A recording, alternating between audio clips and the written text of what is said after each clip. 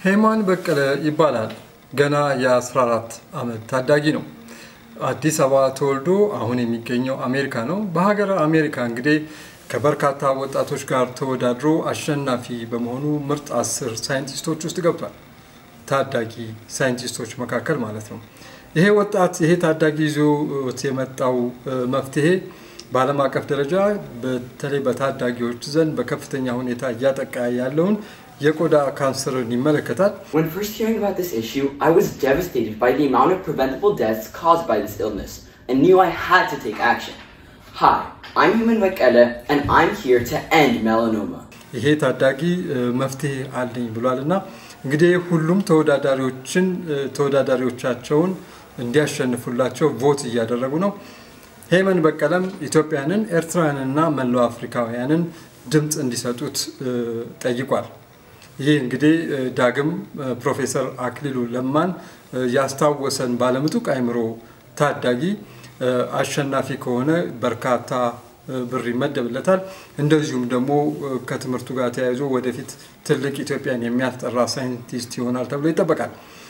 ይሄ ልጅ በጣም የሚገርማችሁ ነገር ባለፉት መቶ ዓመታት ውስጥ ምን አስገረመህ የሚል ከአእምሮ ብስለቱ ጋር የተያያዘ ጥያቄ ቀርቦለት ነበር። ሲመልስም ምን አለ?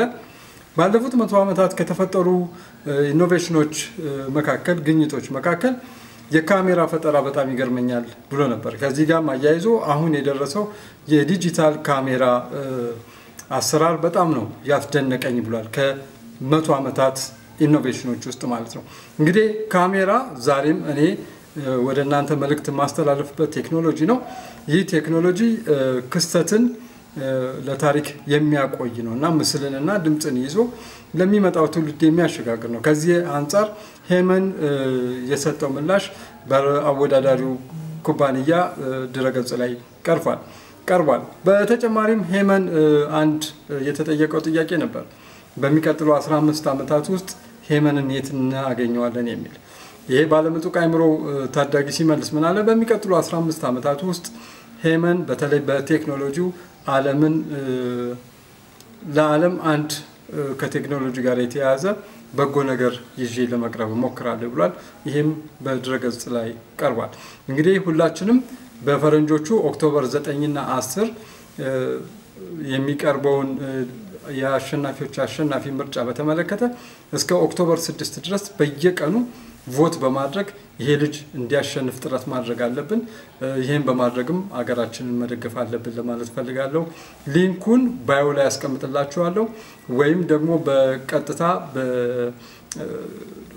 እዚህ ጋር በማሳያችሁ የ Google search አማካኝነት በመግባት ድምፅ እንድሰጡ ትጠይቃለሁ። እጅግ አድርጌ አመሰግናለሁ። Hi, I'm Ewan Bekele, and when I heard about the absurd price that came with skin cancer treatment, I knew I had to take action. The average price for an operation of this disease is over $40,000, a number especially concerning when you realize that skin cancer is mostly found on people who live within third world countries.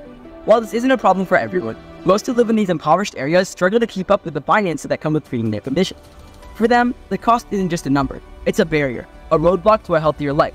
It's a choice between paying for treatment or putting food on the table for their families.